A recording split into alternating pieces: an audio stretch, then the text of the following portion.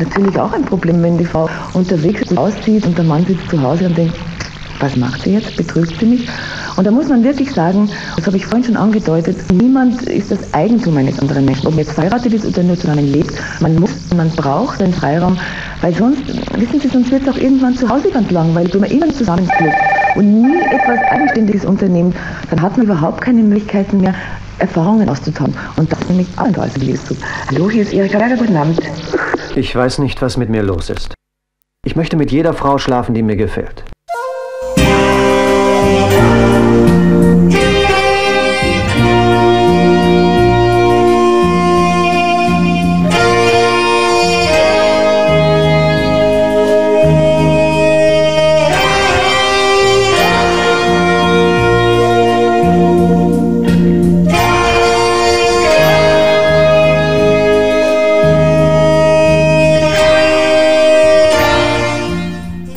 So spricht ein Mann nach wenigen Jahren einer Ehe, die bisher in Harmonie und Eintracht verlaufen war. Wie gebannt schaue ich mich um, wenn ein schlankes Mädchen daherkommt. Die Frauen sind für mich Leben. Alles, was irgendeine Anstrengung lohnt, alles, was die Kräfte wieder auffrischt, liegt in den Frauen verborgen. Ich wage es meiner Frau gar nicht zu bestehen. Ich schäme mich vor mir selbst. Eines schönen Tages kam ich zu der Überzeugung, dass ein gewisses Mädchen, ein zartes, lächelndes Mädchen, mir alle die Göttinnen meiner Träume würde verkörpern können. Der Bericht über die verschwiegene Not dieser Unbekannten steht stellvertretend. Statt dass meine Ehe mich befriedigte, löste sie bald in mir einen Sturm von lang unterdrückten Wünschen und gefesselten Begierden aus. Wenn er wüsste, was auf ihn wartet, dann soll er sich merken, dass die nicht jeden Typ, der dieses Problem hat, er soll mal in die Pizzeria reingehen und dann soll er mal in den Ofen reingucken. In den Pizzaofen. Und er soll ruhig mal so die Hand reinstecken. Mancher Mann resigniert. Women that are coming in off the streets, I mean, not all of them, but many of them, they're prostitutes, they're chronic liars, they're drug addicts, and I'm just saying how it is. You know this.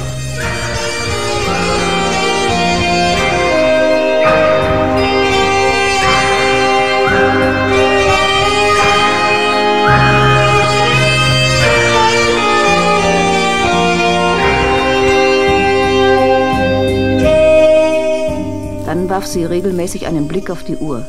Es hatte anderthalb Minuten, manchmal eine Minute, niemals zwei gedauert. Lassen wir sie weitersprechen und lassen wir zu, dass solche Not offen ausgesprochen wird. Ich hatte zwar keine Schmerzen, doch ich empfand nichts. Wie es mein Mann erging, weiß ich nicht. Wir schämten uns, miteinander zu sprechen. Ich habe deinen Mund geküsst! A passion, I realize these are passions that are within us, but they seek to destroy. They are against your soul. They do battle against your soul. Something that wars against your soul means to destroy your soul. These are soul destroying passions. And if they get you, you die. Von diesem Augenblick an wurde dieser offenherzige Mann rätselhaft. Wir meinen, in einer Situation, in der wir keine Reklame anschauen können, die nicht mit erotischen Mitteln zu wirken und oft zu verführen sucht, ist es notwendig, in Nüchternheit und Ehrfurcht die Nöte zu bekennen, an denen so viele Ehen tragen. Zahllose Männer könnten in ähnlicher Weise sprechen. Auch sie war verheiratet, die aus ihrer enttäuschten Ehe heraus sagte, Ich möchte jede Nacht einen anderen Mann. Am besten drei. Das war natürlich übertrieben.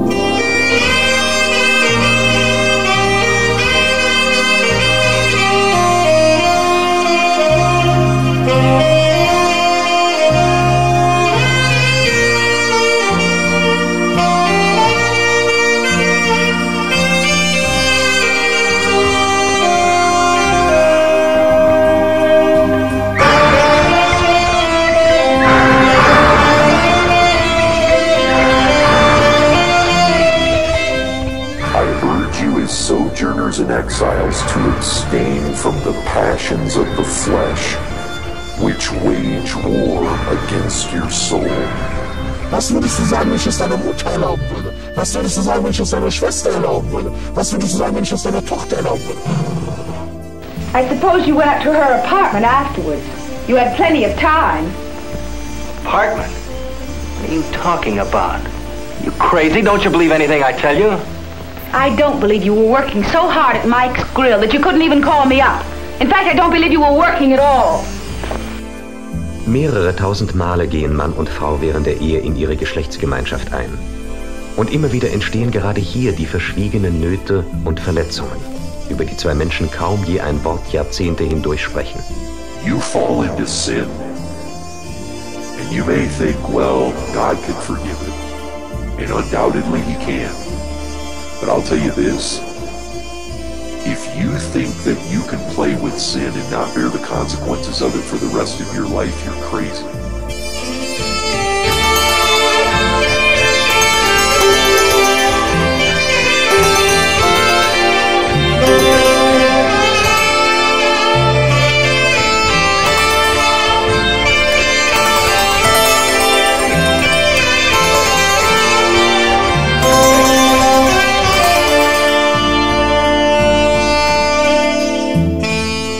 Darunter verbirgt sich auch stets eine verschwiegene Not, über die der folgende Bericht einer Frau sprechen soll.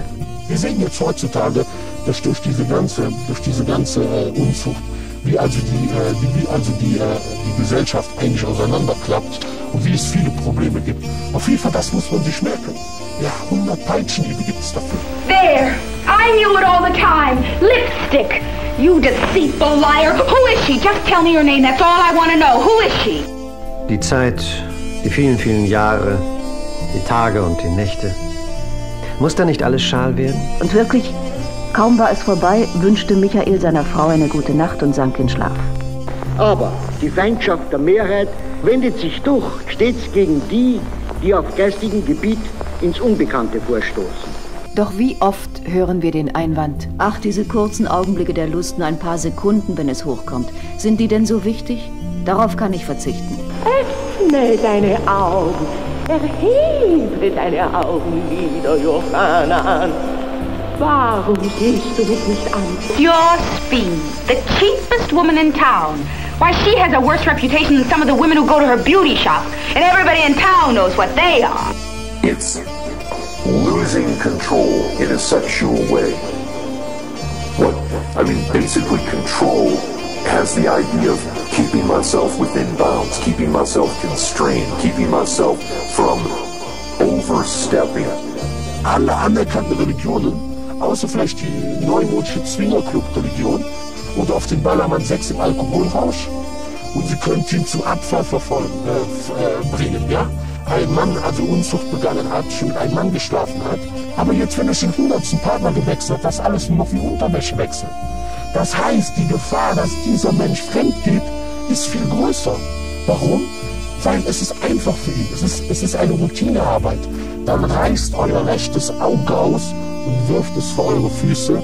In manchen Ehen wird nie ein Wort ein Leben hindurch darüber gesprochen. Beide tun, als gäbe es diese Erfahrung nicht zwischen ihnen.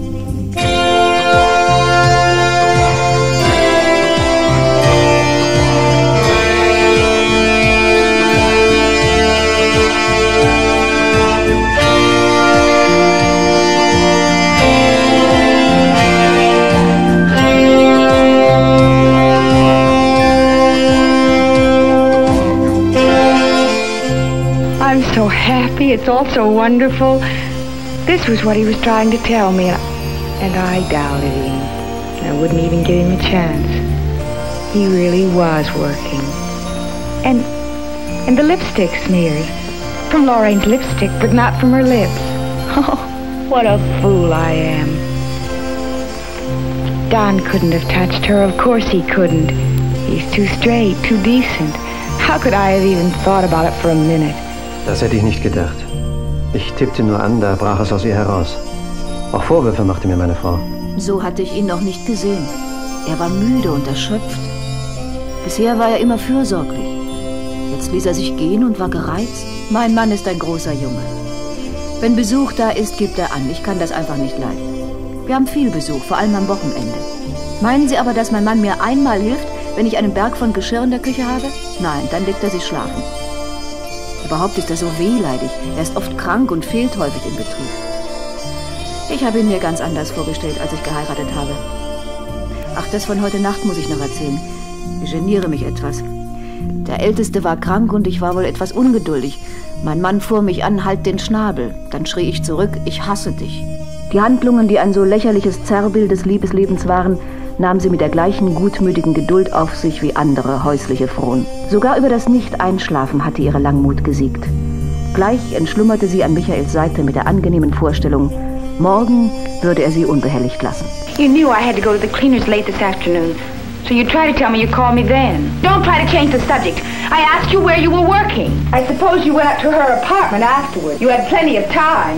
Weil sie in der Tiefe der Wesen die beiden Gatten entfremdet, dort, wo sie beide einander nähern sollte.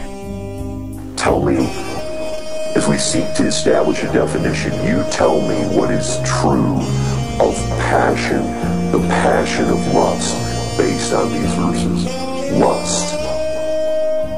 What's true of sexual lust, the passion of lust, based on what, what's, let me tell you, this world gone crazy after sex.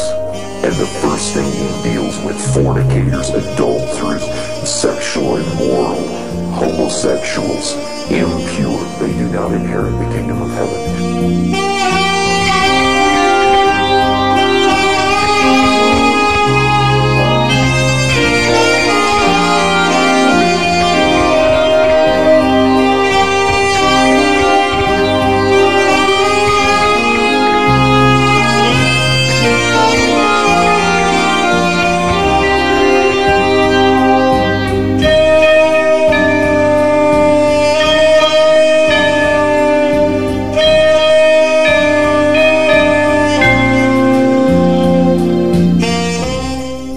Gleichgültig, ob Mann und Frau ihre geschlechtliche Gemeinschaft als Quelle von Lust und Freude erfahren?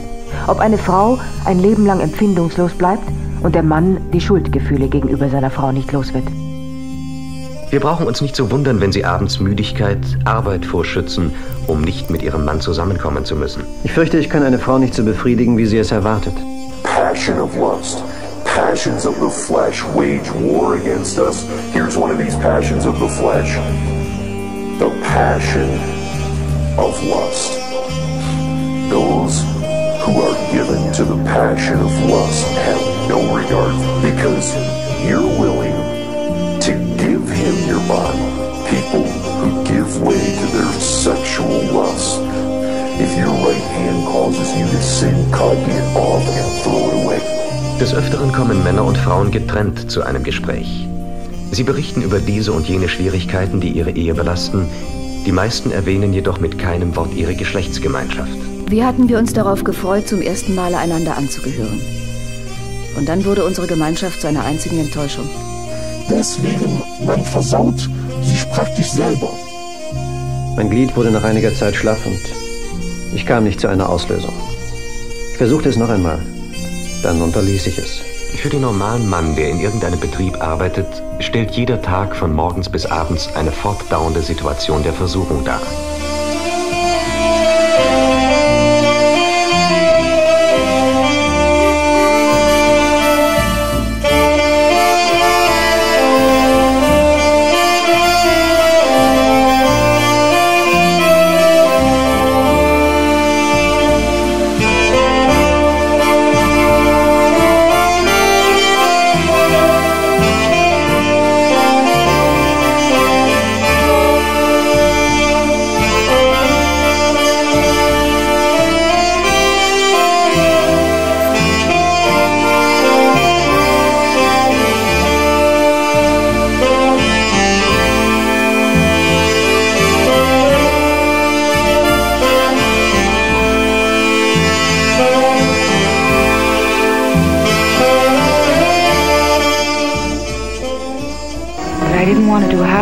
And I didn't want to play small, unimportant parts. Er beklagte sich, irgendetwas an ihrer ehelichen Gemeinschaft fehle. Er wisse nicht was. Das Verlangen nach Lust ist maßlos. Wie oft kann es ein Mann erfahren, wie es ihn zieht und zieht nach einer anderen Frau und die Frau nach einem anderen Mann? Was soll ich nur tun? Ich mag meine Frau, aber sie begeistert mich nicht mehr. Dieses nette Ding umgarnt mich immer mehr.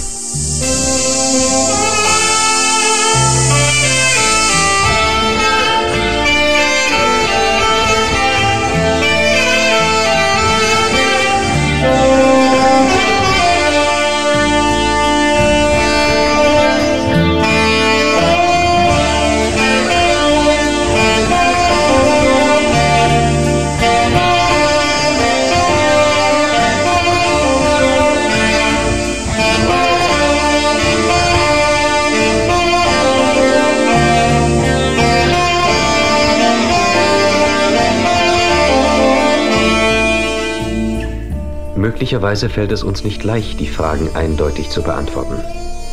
Nehmen wir einen Zettel zur Hand. Notieren wir, was uns eben eingefallen war, auch das, was nicht herzugehören scheint. Lesen wir es morgen oder übermorgen noch einmal durch. So bringt uns die Gefahr zusammen. Lasst euch noch einmal schmecken, liebe Freunde. Und vergessen auch das Trinken nicht. Die Flasche ist bald leer, Herrgott. Die letzte. Die allerletzte. Ich schäme mich, es Ihnen zu gestehen, aber ich muss sagen, davon hatte ich nicht die geringste Ahnung. Die Versuchungssituation, in der viele Männer stehen, wird verschärft. Juhu! Jenny thinks that she has the key to popularity, parking in cars with the boys at night. When Jerry brags about taking Jenny out, he learns that she dates all the boys. Ob das jetzt mal hier passiert oder da passiert, deswegen verliert die Schamhaftigkeit. Und die Schamhaftigkeit zeigen häufiger als psychische und soziale Abweichungen Frauen in stärkerem Maße Männer. Wir könnten entschuldigen, er war ungeschickt und unerfahren, wie viele andere Männer. Sie vermögen ihre Sehnsucht nach dem Gefährten, das Verlangen nach Zärtlichkeit und geschlechtlicher Gemeinschaft noch nicht miteinander zu verbinden. If you are involved in sexual sin, internet pornography, illicit sexual immorality, sexual. Listen, let me tell you this. Where you are with sexual passions, you die in your sin, you go to hell. Saving faith is sin killing faith. Saving faith is lust killing faith. Saving faith is warring faith. Make no mistake about it. Was Sie sagen, zeigt, wie ungemein groß der Hunger nach Lust in unseren Tagen ist und wie selten er gestillt wird, innerhalb und außerhalb der Ehen.